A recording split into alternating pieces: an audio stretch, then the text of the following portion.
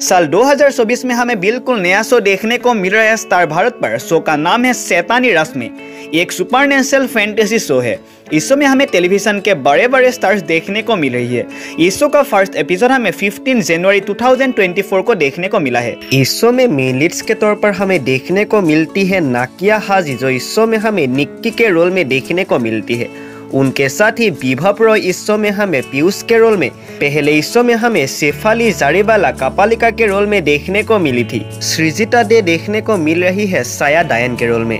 लेकिन कुछ समय पहले ये खबर निकल कर आया था सृजिता दे ने इस शो को छोड़ दिया है। खबर ये निकल कर आया था सृजिता दे क्विट स्टार भारत सैतानी रस में owing to her personal problem and long suit उसके साथ ही अभी खबर ये निकल कर रही है इस शो में फिर से शेफाली जारीवाला की एंट्री होने वाली है। शेफाली जारीवाला की जो कपालिका का किरदार है, वो फैंस को काफ़ी ज़्यादा पसंद आया और फैंस डिमांड कर रहे थे कि फिर से कपालिका की एंट्री कराया जाए। अभी खबर ये निकल कर रही है, फिर से कपालिका की धमाकेदार एंट्री होने वाली है, क्योंकि सायादायन बहुत ही जल्द अलविदा कहने वाली है।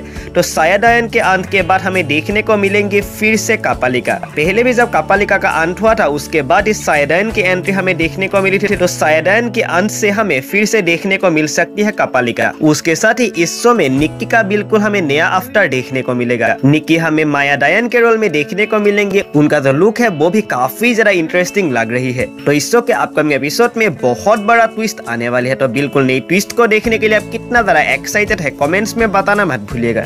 सैतानी रश्मि का जो टीआरपी है, वो स्टार भारत के हिसाब से इस वक्त काफ़ी ज़्यादा अच्छा निकल कर आ रही है। स्टार भारत पर बाकी शोज़ की टीआरपी 0.1 या 0.2 निकल कर आती है, लेकिन सैतानी रश्मि का टीआरपी 0.3 ही निकल कर आता है। इस हफ़्ते भी शो का टीआरपी 0.3 ही निकल कर आई है। तो क्या आप देखते हैं सैतानी रश्मि आपको कहानी कैसी लगती है, आप कमेंट्स में बताना मत भूलिएगा।